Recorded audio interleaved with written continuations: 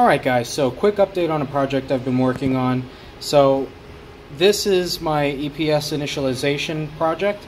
Last time I had uh, two laptops running two custom scripts to initialize and control the EPS using an Xbox controller over CAN. This time I have it running on just a, an Eon and an Arduino. So I'll walk you through my setup. There's a gray panda, and the white panda here is only used for monitoring the bus. Those are connected to this CAN hub, and also connected to the CAN hub is my Arduino.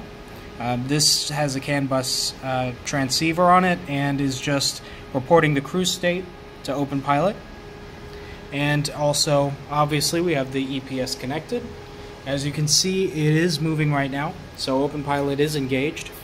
And what I have is it's just watching a video of one of my drives through Cabana. Um, it's a little ghetto, but it works. And as you can see, it's trying to steer this way. And you can see it's spinning. So if I change the direction here by just moving the Eon, and we'll say that way, you can see it uh, changing directions over there. I'll change it back and change it again.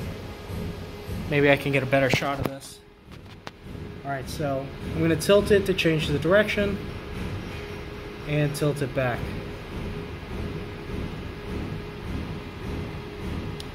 And there it is.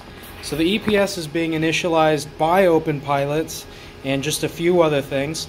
And um, it works. So thanks for watching. Uh, see you guys next time.